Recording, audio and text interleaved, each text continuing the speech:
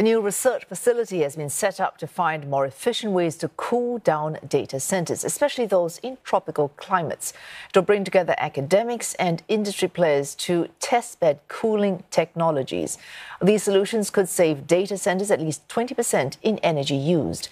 Well, that means data centers can see savings in cost and lower their carbon footprint. This liquid immersion cooling system here is among the solutions being tested at the new facility. Liquids are better able to transfer heat than air and can reduce energy consumption of up to 40% for the entire data center. Led by the National University of Singapore and the Nanyang Technological University, this lab provides a space for experts to research and companies to test out new cooling methods in hot and humid countries like Singapore. About 20 industry players such as Meta and Dell Technologies are part of research efforts. Studies are also ongoing to establish the optimum temperature and humidity points for air cooling in the tropics. It may take about two years for these solutions to be rolled out on a wider scale.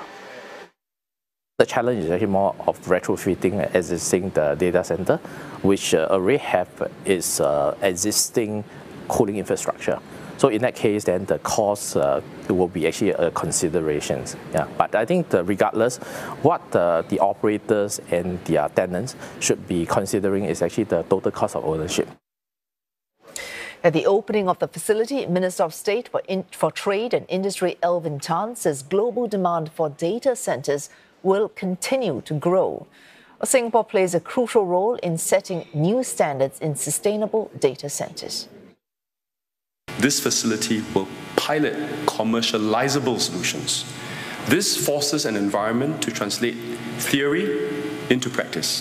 For example, the facility will trial and facilitate commercial deployment of an integrated air and liquid cooling technology system.